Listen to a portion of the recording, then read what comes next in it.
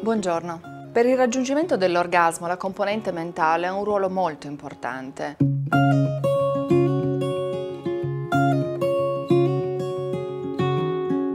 Durante la malattia la sensazione di controllo in genere aumenta e lasciarsi andare è più difficile anche a causa della paura di non piacere come prima dell'intervento chirurgico.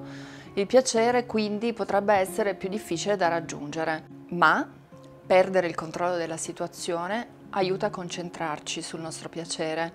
Troviamo quindi dei piccoli espedienti che ci aiutino a creare un momento giocoso con il nostro partner. Questo potrà aiutarci a creare una dimensione più rilassante e meno prestazionale. Ci sono molte e diverse soluzioni a seconda di ciò che più ci piace e che sappiamo piacere all'altro.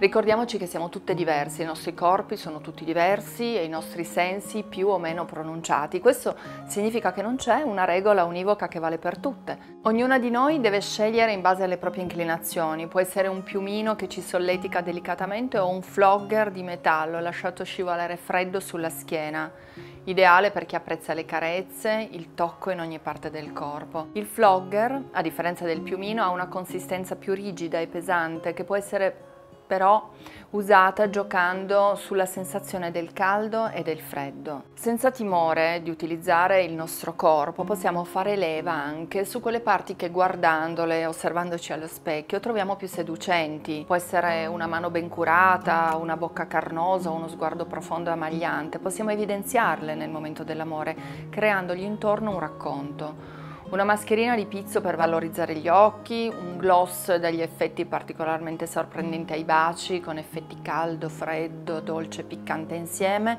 o delle lunghe maniche seducenti che all'occorrenza si possono trasformare in un'ulteriore occasione di gioco. Possono diventare una sensuale manetta o una benda da utilizzare su di noi o sul nostro partner. Felice amore a tutte!